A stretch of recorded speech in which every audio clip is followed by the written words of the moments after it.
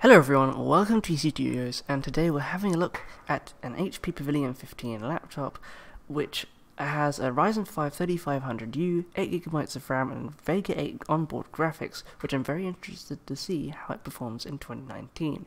It also has a 15-inch display at 1080p, so pretty good specs overall, the build quality is really nice, and overall the laptop feels pretty great.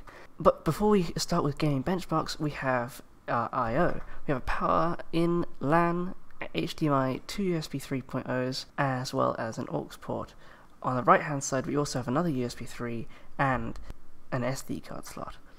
But talking about specs, remember that the uh, Vega GPU is an onboard graphics card, which means it uses 2 out of the 8 gigabytes of RAM on this machine, so if you are buying this for productivity, I highly recommend going for the 16 gigabyte model. The first benchmark I ran was Cinebench R15, and we managed to get a surprisingly good score of 581 points, which isn't too far behind the, the 6700 HQ i7 in my laptop, a slightly older but still very capable Intel CPU. The Vega 8 graphics card managed to get a score almost exactly in between a slightly older Intel HD graphics and a GTX 950M, although a lower end but still much more expensive NVIDIA graphics card. Some other benchmarks included uh, some of the newer 3D Mark benchmarks, and it managed to score pretty good overall, and I'm pretty impressed with the performance. The scores for both of the tests I ran are on the screen right now, in the form of screenshots.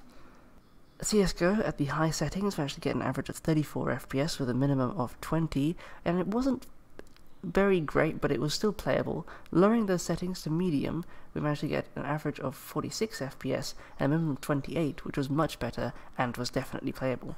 Overall, I'm very happy with this laptop's performance, and I'm surprised at the Vega 8 GPU because it is essentially the advantage we need over Intel HD graphics, but without the price increase of a dedicated graphics card from NVIDIA. Overall, I'm very impressed with the laptop, and I'm interested to see how many more of these graphics cards we get in laptops like this.